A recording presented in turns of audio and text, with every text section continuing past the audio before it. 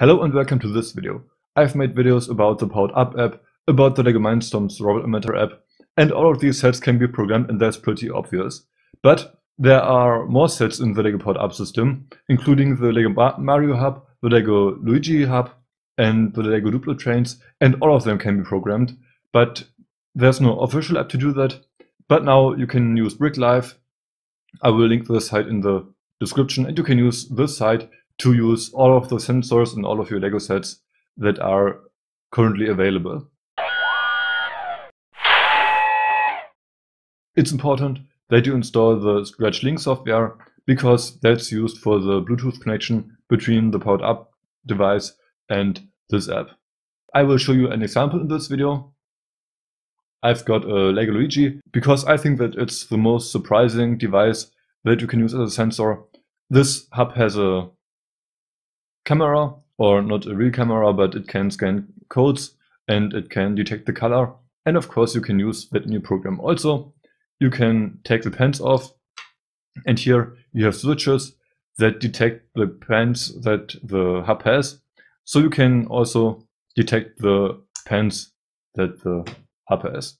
To access the devices, you can go to the left tab and you can select the device that you want to use. In my case, it's Lego Luigi. And here I can check if it sees a barcode. I can check if it sees a color or also the pens. But now let's say that I want to check for the color, for a red color. I've got a red object here. And if it sees red, it should do something. For example, it can play a noise. This is a sound block it's in German, but it basically says play sound meow completely. Now I can connect the hub or the device to the app. Again, you have to run Scratch Link, and now you can go to the device list. You can go to this orange exclamation mark, and now you have to turn your device on. You can press on the Bluetooth button in the case of Lego Luigi. And now you can click on start searching and the program runs. It already runs, so I can put this camera above a red object and then it will play the sound. It will also play the sound that plays if Luigi is on lava because that's what this color is for.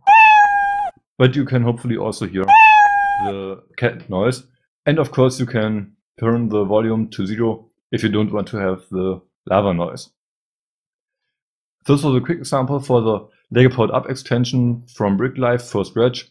You can use this to program more or less everything for the Luigi Hub, for the Mario Hub, for the Duplo Train, and also for Spike Prime and so on. So please tell me in the comments what you think of this. I hope that it helps you, and I hope that I will see you in the next video. Thanks for watching, see you in the next video, and bye!